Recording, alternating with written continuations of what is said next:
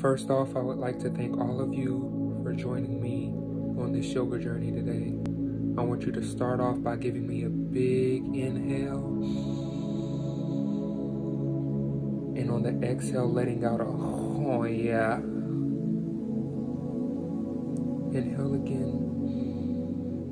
Today we're going to become one with our naughty places.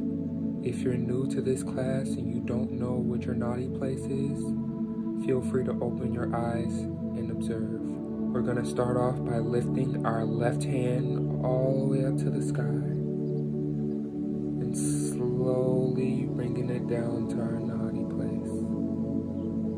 I want you to start to move your hand in whichever way brings you the most pleasure.